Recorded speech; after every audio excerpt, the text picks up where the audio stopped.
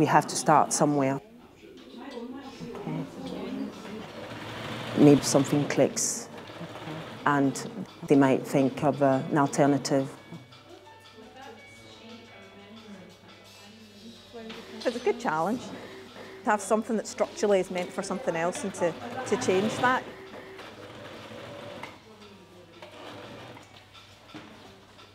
To look at it and just imagine another way that it could be.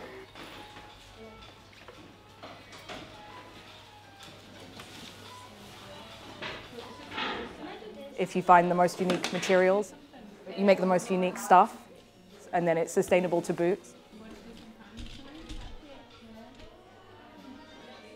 We're trying to challenge the notion that you would repair something and just relegate it to gardening trousers or whatever after that. So just you would repair it and wear it, not just for every day, but you actually would wear it on a catwalk. Bold, bright, repaired clothing.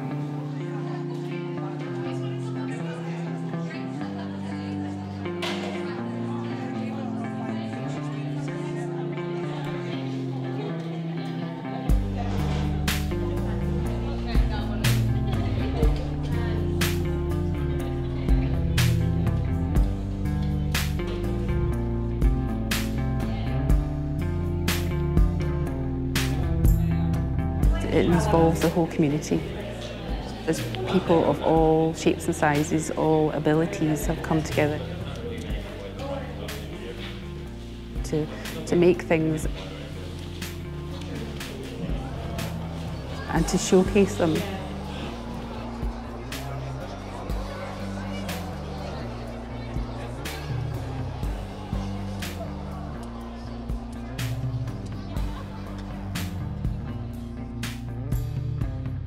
It might spark off people's imagination.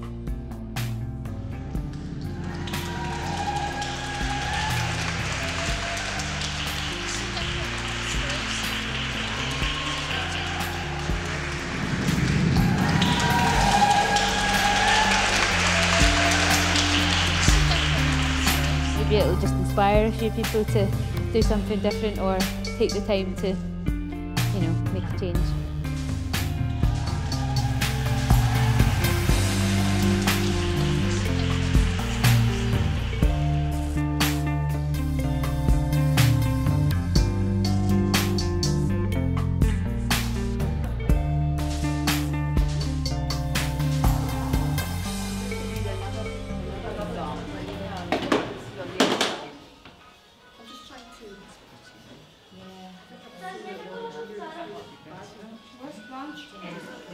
Came to this through the material because I walk about, I see loads of Bookies pens lying about in the ground all the time. I've, I've collected a lot of Bookies pens, I've been wandering about just picking them up when I see them and um, discarding the really chewed ones, you know, where people have been watching a really exciting race. That's right.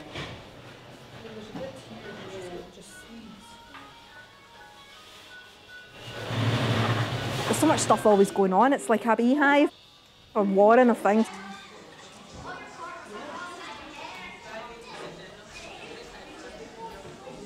This building is special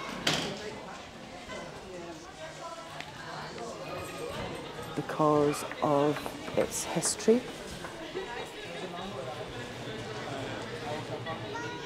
Transient communities that have lived here, that have left their mark.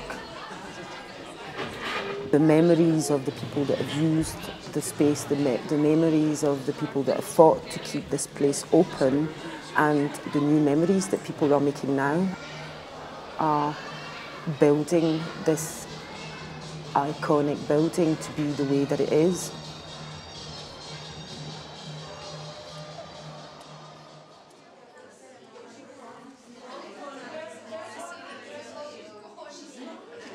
Inspiration for this is there's a Mexican street parade and they cover themselves head to toe in cans and there's so many of them and they all walk and the noise is ferocious.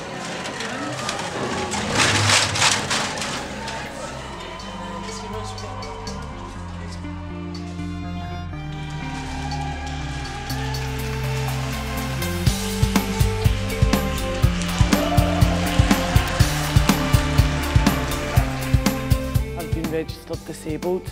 So it's been a way for me to integrate into the community. It's just getting me out and about.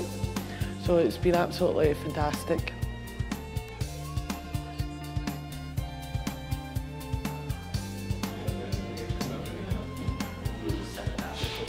My brand is called Thrifty Little and I use upcycled materials to make um, basic designs.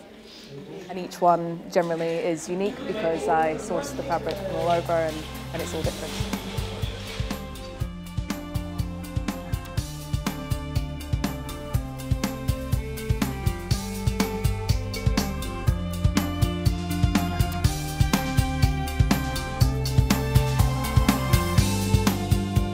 future is sustainable.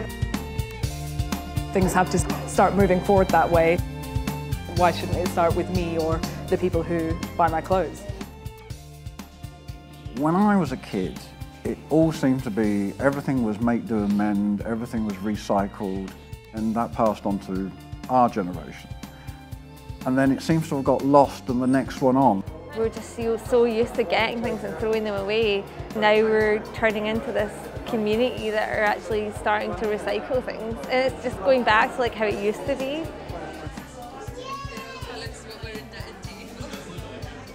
So much waste in this world, it's about time we started to be proactive and actually using things, the materials that we have available to us, you know, and if you can make something magnificent out of it, then why not?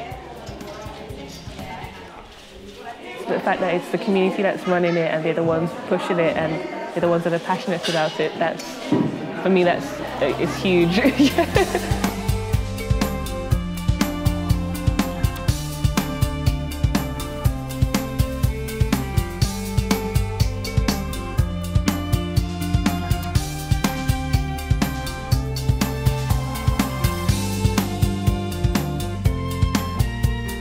are using the medium of creativity to get people to change behaviour and to possibly consume less and to think about the planet a little bit more.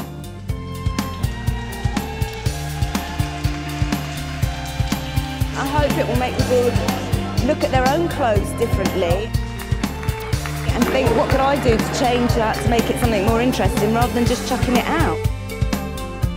Seeing that there's potential in everything if you just think about it in a different way.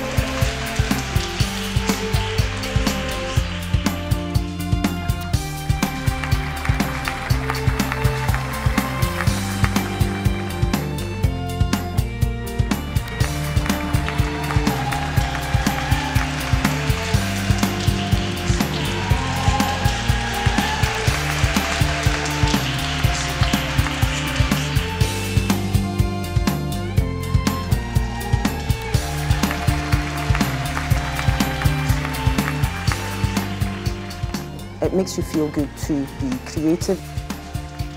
It makes you feel good to have your own style. It makes you feel good to, to, you know, just be together and create something together. But if everything you buy is a slight strain on the, the planet and the environment, every single thing and then that adds up and every single thing you buy is a bit more of a strain and a bit more.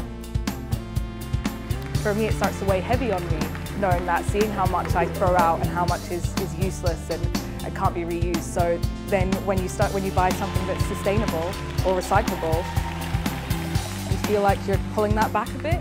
All the, the negative impact that you've had on the planet, you feel like you're making up for it a bit. That's why it's important to me. It makes me feel less guilty for being a human being on this uh, nice planet.